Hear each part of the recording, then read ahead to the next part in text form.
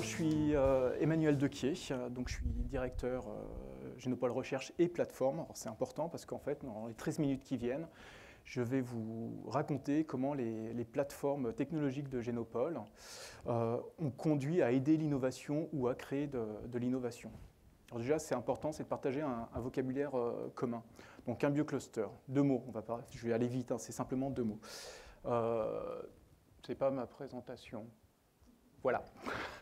Donc deux mots, biocluster et, euh, et, plateforme. Alors un biocluster, c'est un regroupement sur un même territoire de laboratoires de recherche et d'entreprises, d'entreprises de biotechnologie en ce qui nous concerne. Donc Génopole, c'est le premier biocluster euh, français dans le sens où on a été créé en, 1998 hein, sur, à Évry, parce qu'on avait les premiers laboratoires de, génomique de France euh, situés ici.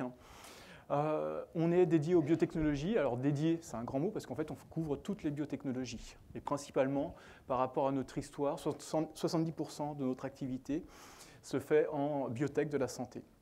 Et le groupement d'intérêt public Génopole, qui organise ce biocluster, a pour mission de créer un écosystème qui est favorable à l'intégration et au développement des entreprises. Nous avons une mission de, de développement économique. Alors, à présent, qu'est-ce qu'une plateforme technologique? Parce que si je vous le demandais, il y aurait, je pense, autant de définitions de plateforme qu'il y a de personnes. En effet, si vous faites une, recherche Google euh, rapide euh, sur les images, bah, vous avez tout ça. Vous avez une plateforme pétrolière, plateforme logicielle, une plateforme, euh, une structure d'échafaudage, vous avez une plateforme immobilière. Alors, ça n'a rien à voir avec, mon outil de travail, hein, tout ça. Je ne travaille pas sur ces plateformes, mais sur les plateformes technologiques, c'est-à-dire sur un regroupement au sein d'un, sur un même lieu d'équipements scientifiques et de compétences. Et à Génopole, on veut que ces compétences soient mutualisées, afin qu'elles créent un lien entre les laboratoires de recherche académique et les industriels. Donc quand j'ai été recruté en 2008 à, Génopole en tant que chargé de mission plateforme, la mission que l'on m'a donnée, c'était de créer ce lien entre nos laboratoires et nos entreprises. Alors j'ai une thèse en génétique, j'avais bossé 5 ans dans les entreprises de biotechnologie. En plus, j'avais mis en place des plateformes techno euh, en entreprise. J'étais en charge des partenariats publics-privés, donc je parlais la recherche, je parlais l'entrepreneuriat. Donc euh, j'étais un peu, voilà, j'étais le, bon candidat pour ce, travail. Alors, quand j'ai commencé à étudier l'écosystème avec euh, l'équipe de l'époque, ce qu'on a constaté, le premier constat qu'on a fait, c'était que quand les entreprises allaient sur nos plateformes technologiques qui étaient piloté par, par les laboratoires académiques, bah, des fois, ça n'allait pas aussi vite qu'on le voudrait. Le premier contact était lent, les résultats étaient lents à livrer, donc on s'est dit, bon, on va mettre des process en place. On va s'appuyer sur un truc qui est super, c'est la norme ISO 9001, puis on va déployer euh, des process qualité inspirés de la norme ISO 9001 dans les plateformes. Donc euh, on avait un référent qualité dans l'équipe, on avait un cabinet de conseil qui nous aidait à mettre en place ceci, et puis on allait voir notre première plateforme stratégique, pour nous qui était très importante. On arrive avec toute l'équipe, on était 4 ou 5 à l'époque, et puis on, euh, va voir le responsable de la plateforme et son équipe, et puis on leur explique ce qu'on veut faire. Puis au bout de 10 minutes, la personne, euh, que je vais appeler, euh, je n'ai pas, demandé l'autorisation de nommer, donc je vais l'appeler Roger Dupont, bah, la personne me regarde et me dit, mais monsieur Dequier, c'est bien tout ça, mais ici, il n'y a pas de plateforme. on ne comprend pas ce que vous nous dites, il n'y a, a, pas de plateforme, il y a un laboratoire de recherche avec une équipe de recherche. Donc ça, c'était le premier constat quand je suis arrivé, c'était euh, qu'il y avait un déphasage entre ce que l'on voulait faire et ce qui se passait dans les laboratoires. Alors pour comprendre cette phrase, je vais juste vous faire un, petit voyage dans le temps, je vous rassure, on ne va pas aller très loin, on va remonter en 1996. En 1996, j'étais étudiant en L3, en L3 euh, du magistère de biologie et génétique appliquée. Dans ce nom, il y a appliqué. Et bien, malgré que ce soit un magistère de biologie génétique appliquée, en 1996, il n'avait jamais signé de convention de stage avec un partenaire industriel ou une biotech. Donc c'est juste pour vous illustrer le décalage qu'il y avait entre le monde académique et le monde industriel en sciences de la vie à l'époque. 2008, on n'était pas bien plus tard. Donc en effet, quand j'ai rencontré ces laboratoires, euh, bah, il y avait toujours ce, toujours ce décalage. Alors est-ce que vous savez comment on fait faire quelque chose à quelqu'un, surtout un chercheur senior, qui n'a pas envie de le faire? Moi, je ne sais pas, en tout cas, mais j'avais en tout cas très envie de, faire, euh, de développer cet écosystème de plateforme parce que je l'avais fait en Angleterre et j'étais persuadé qu'on pouvait le faire. Alors comment on fait quand c'est comme ça? Ben, On trouve des alliés. On s'appuie sur, euh, sur des alliés. J'avais un écosystème qui était quand même fertile. Et donc, j'ai trouvé quelques responsables d'autres plateformes qui avaient envie de démarrer cette dynamique. Et puis, c'est ce que j'appelais, à l'époque, je vais créer un effet boule de neige. Vous trouvez les, premières personnes. Et puis, derrière, vous, montrez, vous démontrez que bah, ce qu'ils font avec les industriels, c'est quand même pas mal. Puis, vous emmenez d'autres personnes avec vous. Et donc, ça, aujourd'hui, ça ne s'appelle pas un effet boule de neige, ça s'appelle créer une communauté. Donc, la première action, en fait, c'était de créer une communauté autour des plateformes, euh, des plateformes technologiques. Donc 11 euh, ans après, c'est ça.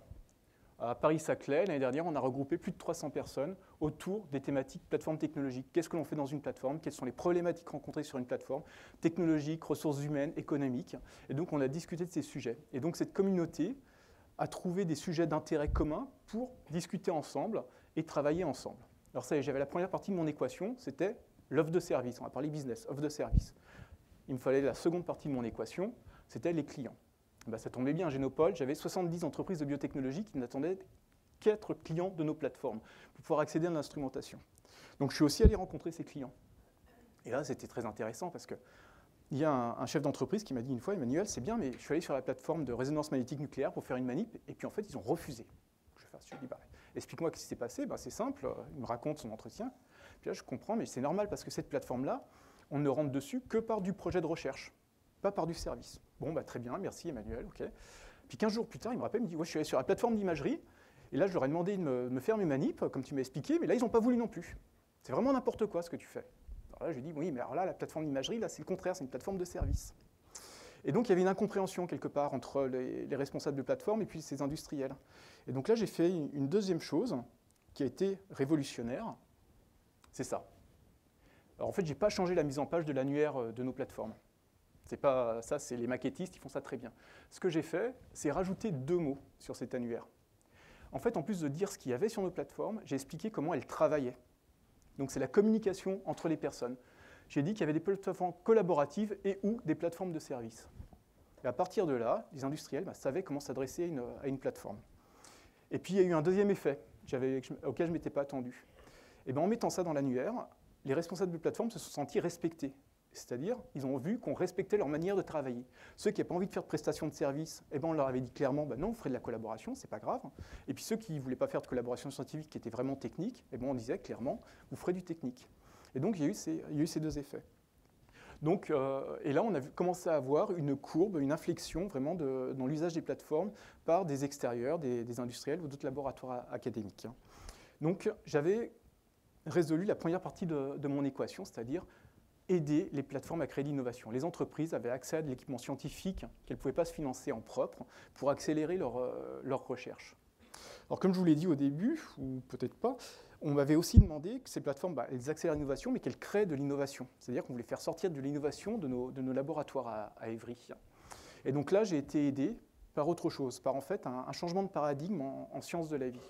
Jusqu'au début des années 2000, les sciences de la vie, c'était plutôt une science d'observation, où on interférait avec le vivant pour le comprendre, et puis on en tirait des, conclusions, un process, je vais dire, assez classique de, découverte scientifique. Dans les sciences de la, santé, on, voyait une voie métabolique euh, qui fonctionnait mal, on mettait des médicaments dessus, puis on essayait de la réparer. Et puis dans les années 2000 est arrivée la biologie de synthèse. Ça, c'est un domaine scientifique qui a été inventé par des ingénieurs qui venaient de l'électronique ou de l'informatique, où ils se sont dit, maintenant on connaît suffisamment de choses en sciences de la vie, il y a suffisamment d'outils pour intervenir fortement sur le vivant et pour lui faire faire ce qu'on a envie qu'il fasse, quelque part. Et donc à partir de cette discipline, c'est développer euh, de l'ingénierie euh, du, vivant, et c'est comme ça qu'aujourd'hui, on produit euh, des molécules issues normalement de la pétrochimie, qu'on produit des encres, ou aussi qu'on commence à réfléchir à des ordinateurs biologiques. On fait des portes logiques en, et au, non ou euh, en bactéries. Ça, c'est la biologie de synthèse. Et ça a complètement changé le paradigme dans le sens où le temps a été, a été différent. C'est-à-dire, pour faire une preuve de concept en biologie de synthèse, il vous faut quelques mois avant d'atteindre le marché. Alors qu'en sciences du vivant, bah, il vous faut 10 à 15 ans. Il faut avoir une propriété intellectuelle forte, il faut le temps de développer, il faut lever énormément d'argent, puis vous arrivez au marché, si vous avez de la chance, au bout de 12-15 ans. Avec la biologie de synthèse, vous pouvez arriver sur un marché en 12 mois. Et donc ça, ça a révolutionné le paradigme. Et à Génopole, on a eu la chance d'être aux premières loges parce qu'on avait l'Institut de, biologie des systèmes et de synthèse qui s'est développé. Et la première chose qu'ils ont fait, vu que c'est un esprit très communautaire, ils ont fait une plateforme technologique. Alors, je ne rentre pas dans les détails, ce n'est pas ce qui nous intéresse aujourd'hui. Ce qui nous intéresse aujourd'hui, c'est que dans l'équation, eux, ils ont rajouté les étudiants. ce que je n'avais pas au début dans mes descriptions de plateforme. Ils ont rajouté les étudiants parce qu'ils ont ouvert leur plateforme à des étudiants qui avaient des idées et qui voulaient développer des preuves de concept. Et donc là, on a vu des étudiants, pendant leur thèse, qui créaient une entreprise. Et même un, à la suite de son Master 2, n'a pas fait de thèse, il est directement parti dans la création d'entreprise, il a levé des fonds, et aujourd'hui l'entreprise existe encore. Et, euh, et, à côté de ceci, on a eu un autre mouvement, c'était le, biohacking. C'est-à-dire les gens qui commencent à faire ça, euh, des, des, mouvements, ils disaient on va faire ça dans notre hangar, on va faire de la biologie dans notre hangar. Donc, une accélération, le biohacking, donc là, vous pouvez avoir deux postures. Soit une posture de préservation, vous dites oulala, c'est dangereux, surtout ne faisons rien, interdisons tout ça parce qu'on ne sait pas où on va ou plutôt une posture d'accompagnement. Et donc l'accompagnement, c'est-à-dire soyons responsables, aidons ces jeunes à développer leurs innovations dans un contexte où ils auront connaissance de la réglementation, aidons-les. Et donc c'est la position qu'a pris, euh, Génopole, ça a été de développer un contexte professionnalisé autour de la biologie de synthèse. Et ça, ça s'appelle le programme Shaker. Donc le Shaker, c'est euh, on donne accès à des jeunes porteurs de projets ou moins jeunes d'ailleurs, qui ont une idée, qui n'ont pas encore créé d'entreprise et qui ont envie de développer cette idée. Donc on leur donne accès à du matériel, un laboratoire, ils ont 6 à 12 mois pour faire leur, euh, leur preuve de concept. Donc il y a une petite barrière à l'entrée hein, pour être vraiment euh, motivé parce qu'il y a un comité d'experts, ils passent par ce comité d'experts qui n'est pas très sévère à ce stage, et puis ils peuvent, euh, ils peuvent développer leur idée. Et en plus, ce que l'on fait, c'est on les accompagne. Ils ont des cours autour de la réglementation, ils ont des cours autour de la propriété intellectuelle, comment créer une entreprise, parce que ces jeunes, des fois, ils n'ont jamais, ils ne savent pas ce que c'est de la comptabilité, ils savent, ils savent pas ça. Pour ça, ça les intéresse vraiment de créer une entreprise.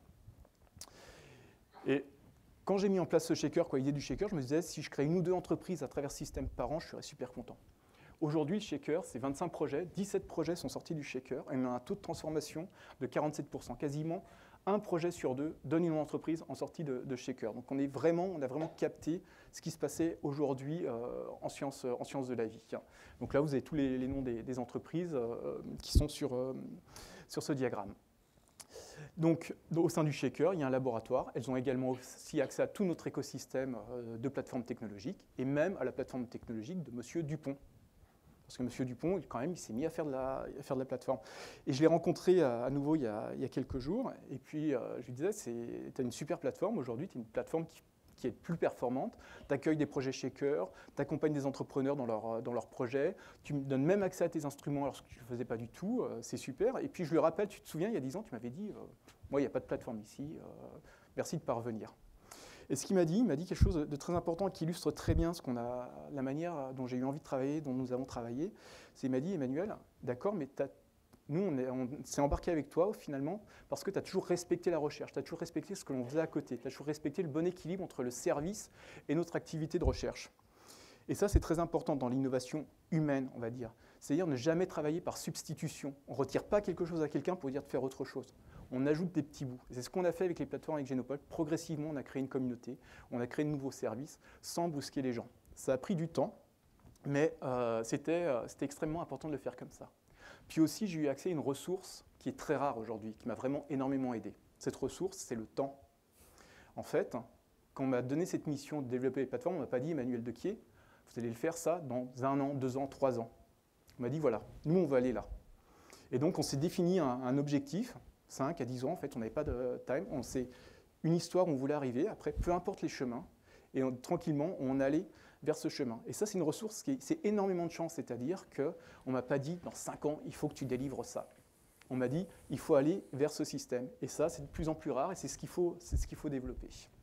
Je pense que c'est vraiment le second message que je vous passer aujourd'hui, c'est vraiment le temps.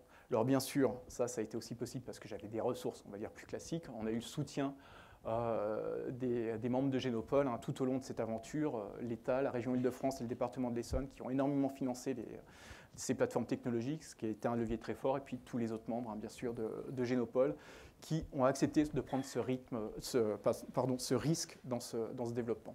Et donc, il ne me reste plus qu'à vous dire merci pour le temps que vous avez voulu bien me consacrer. Merci Emmanuel.